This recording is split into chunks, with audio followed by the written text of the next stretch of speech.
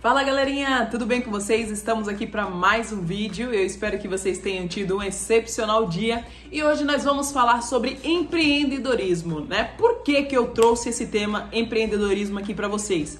Porque é, eu já vi várias pessoas, não foi uma, nem duas, nem três, diversas pessoas, principalmente aqui nos grupos, é, que falam para mim: Ah, Morgana, eu vou esperar. E eu já até falei isso também, e acabo repetindo algumas coisas para que vocês liguem um vídeo a outro, tá? É, quando eu falei que algumas pessoas esperam virar mestres, né, para começar uma profissão. Eu falei para vocês que é, com um ou dois, ou até no máximo três vídeos já davam para vocês iniciar. Claro que você não vai só estudar ou acompanhar os três, três vídeos aleatórios que vocês escolherem aí, que eu já gravei, iniciar e acabar por aí. Claro que você tem que seguir a sequência. Teve uma quantidade, uma.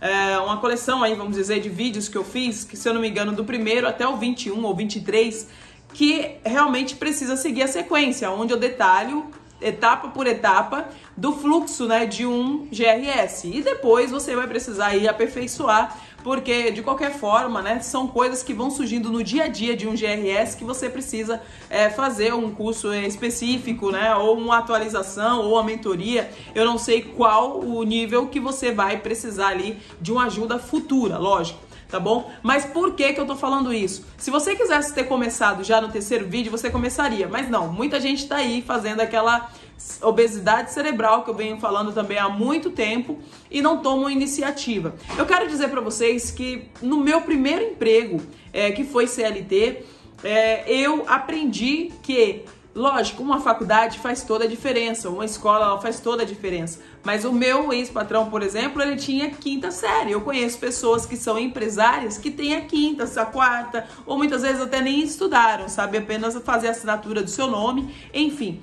Isso não significa que você precisa ter todo. Por que, que eu tô falando isso? Você não precisa ter todo o conhecimento do mundo para você iniciar a sua profissão. É, e por que, que esse cara que tinha quinta série, esse outro cara que tinha quarta série, tem os seus comércios e sobrevive no seu comércio até hoje. É lógico que uma pessoa, não vou desmerecer nunca, quem concluiu os seus estudos, quem fez uma faculdade, quem fez uh, até pós-graduação, né? Que vou dizer para você que tenha o mesmo conhecimento. Às vezes consegue se sobressair é até melhor, né, do que uma pessoa que tem quinta série, mas eu também já vi pessoas que tiveram formação gradual e não deram em nada, né? Eu digo deram em nada é, no sentido de não quiserem empreender, é, às vezes não conseguiram emprego, estão desempregados, enfim, não, não se dedicaram 100% a isso, tá?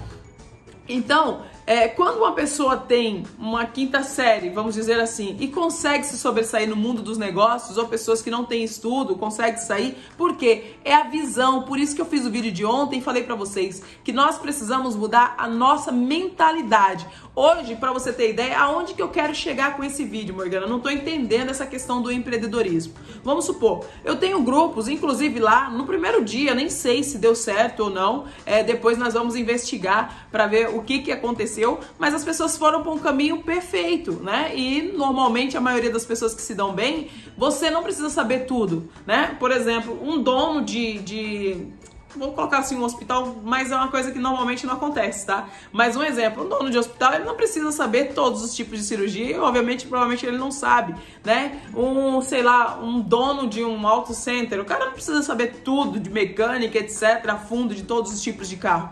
Né? E o que acontece? Eles contratam mão de obras especializadas. Hoje, se você quiser montar uma agência né, especializada, uma agência de marketing especializada em gestão de redes sociais, você não precisa ter todo o conhecimento. É lógico, você precisa estudar um pouco como eu falei, tem todos os vídeos aí, dá para você ter uma ideia, né? Porque você vai contratar profissionais, vocês precisam falar a mesma língua. Então não adianta nada você também querer abrir uma agência de gestão de redes sociais sem ter conhecimento nenhum. Você vai quebrar a cara, você vai ser enganado, né, pelos seus funcionários. Enfim, você vai se prejudicar, você não vai tomar atitudes, você não vai ter a visão necessária na hora de fazer algumas alterações, algumas mudanças que se faz necessário no dia a dia de qualquer empreendedor, de qualquer empregado CLT, enfim, enfim, na vida da gente a gente precisa estar tá atento às mudanças, né? Então, é, se você faz aí, é, como eu tava falando lá do grupo, né? É, só para não perder o raciocínio lá no grupo, nos, nos, primeiros dias que a gente montou um grupo de WhatsApp, o pessoal falou: Olha, eu sou ótima em venda. Eu falei para ela: Poxa, vai lá no grupo e pergunta, né? E ela foi e fez isso, né? Eu sou ótima em vendas, mas a minha dificuldade é realmente fazer essa gestão. Eu não tenho habilidades com computador, eu não sei por onde começar. E a outra moça já falou: Não, eu tenho habilidade em é, artes, né? Eu, eu faço criação de artes. O outro já falou: Eu até coloquei um rapaz que trabalha com copy, que é o Marcos, que inclusive trabalha junto comigo na parceria que a gente conseguiu consolidar aí.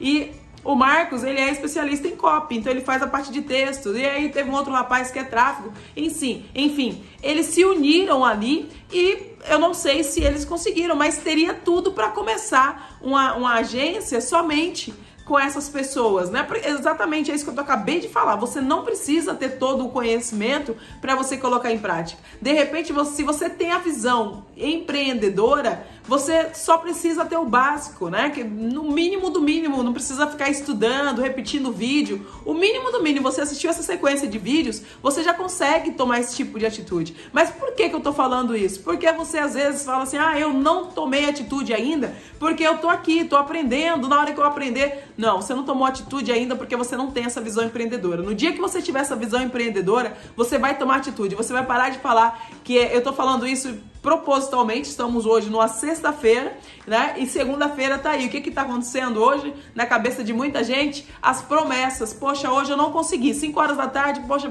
mais uma semana se passou e aí você vai lá atualizar sua agenda, coisas de segunda-feira que você não fez, que você já tá jogando para a próxima segunda. E a principal coisa que acontece na sexta-feira é o quê? É você se prometer na segunda-feira que vai ser diferente. Você vai mudar a sua alimentação, você vai ligar para aqueles clientes que você não ligou, você vai fazer inúmeras coisas que você teve a semana inteira para fazer. Só que tem um detalhe, isso vem se prorrogando, procrastinando desde o começo do ano. Estamos praticamente entrando na penúltima semana do ano e algumas promessas que você fez lá atrás não se cumpriram até hoje. Então eu tô aqui para dizer para você que o ano ainda não acabou, que ainda dá tempo de você reformular as suas ideias, dá tempo de você reestruturar a, a, os seus planejamentos, os seus planos e ainda colocar em prática. O ano não acabou. E se você mudar essa chavinha que eu falei aí da questão da visão, da mentalidade que eu discuti bastante no vídeo de ontem e você falar assim, não, eu quero, quando você coloca no seu coração o desejo de querer e acredita, coloca energia dentro de você de que as coisas podem acontecer,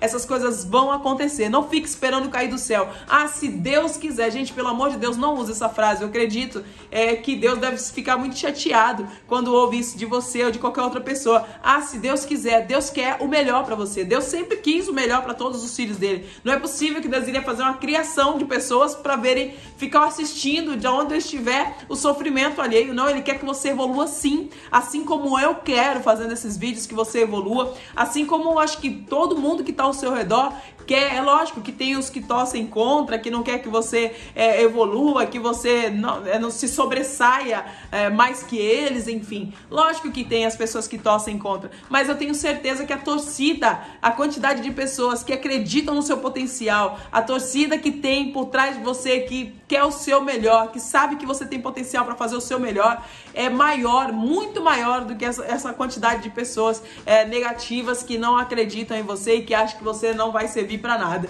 Então, se você mudar a mentalidade nesse final de semana, trabalha para isso, lê um livro, assiste aí os vídeos que você ainda não assistiu, faz algo em prol desse seu sonho e você vai ver que as coisas vão começar a dar certo. Começa a se organizar, joga lá no grupo, se você participa do grupo, quem são as pessoas que estão disponíveis. Por isso que eu falei ontem do andar juntos, né? De você estar tá com alguém ali para te apoiar, porque vai ter momentos. Gente, eu não sou de ferro, eu já falei isso para vocês. Tem dias que eu recebo notícias ruins, tem dias que eu recebo notícias boas e tem momentos que a gente pensa em fracassar. Tem momentos que a gente pensa em deixar tudo para lá. Mas quando você está apoiado apoiado por pessoas que acreditam em você, as chances disso acontecer são praticamente nulas, porque sempre tem alguém que fala: o que, que é isso? O que, que é isso? Onde você pensa que vai com esse pensamento, com essa atitude? Não.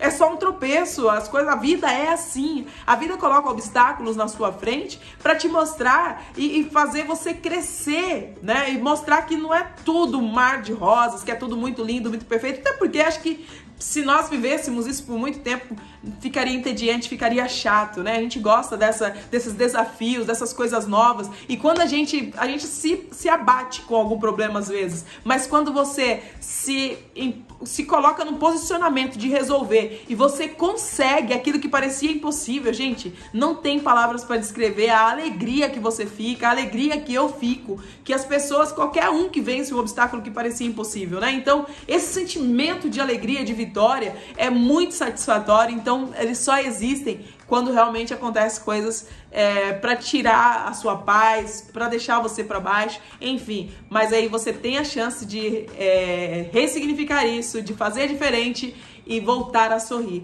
Então, gente, aproveita hoje que tá começando a sexta-feira. A gente, como GRS, não gosta de ficar dividindo os dias por semana, mas eu sei que você vive assim, eu sei que você fica frustrado quando chega uma sexta-feira que você não conseguiu o seu objetivo e aí você começa novamente a fazer planos para segunda e aí na segunda vai lá e vai empurrando com a barriga e chega na sexta-feira é o dia da deprê. Então muda isso na sua vida a partir de hoje. Então ao invés de começar segunda, comece agora. Comece a colocar nome de pessoas que poderiam te ajudar, pessoas que estão dispostas a te ajudar. Vá até elas, peçam ajuda e você vai ver que as coisas vão dar, vai dar tudo certo, tá bom? Um beijão, fica com Deus e até mais. Tchau, tchau.